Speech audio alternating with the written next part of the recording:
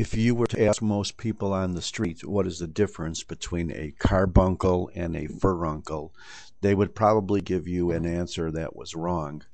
Actually, they're both boils. They are both uh, abscesses involving skin and subcutaneous tissue. The more precise uh, purists would tell you, however, correctly, that a furuncle is a single uh, boil leading into the skin, whereas a carbuncle is usually a confluence of two or more. So carbuncles are usually bigger, but it's the same process, and who cares? What we have here is skin. You can see that the epidermis ends kind of abruptly, and you have a large mass or large area between these two epithelial edges uh, which is filled with pus. You could see, hopefully pretty soon,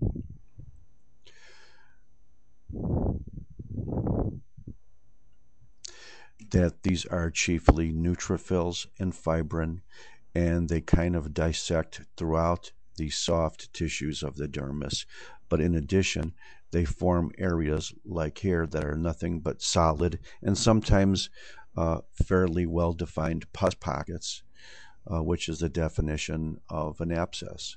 So both uh, carbuncles and furuncles are boils. They're both abscesses. They're both usually uh, in the skin and subcutaneous area, and they're usually caused by uh, skin bacteria such as staph or strep. Um, I wish I could say something more profound about this case, but there really is nothing left to say let's just zip in uh, for a second, look at some of the way that these uh, neutrophils kind of dissect the surrounding soft tissues, whereas in some areas they look like they're fairly well defined.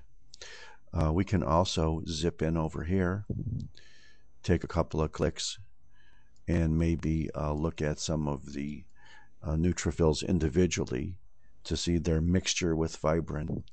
And up here it looks like they have chewed up part of a uh, hair follicle because you can see a piece of hair here. But if you look, these are all classical neutrophils. The uh, nuclei are never really quite perfectly round. They always look a little lobulated. Thank you very much. This is it for carbuncle, which is a fusion of furuncles. Thank you.